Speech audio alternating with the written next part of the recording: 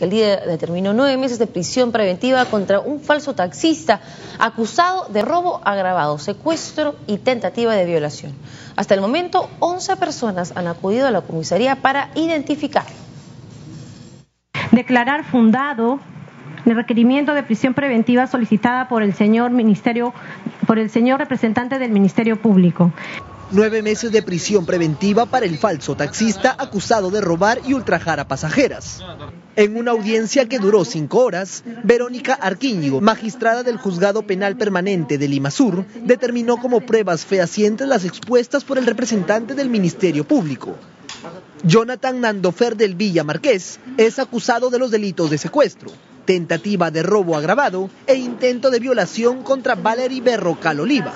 Es un proceso que va a durar 120 días en los cuales se van a recabar eh, elementos probatorios destinados a confirmar desde la perspectiva del Ministerio Público la responsabilidad del imputado.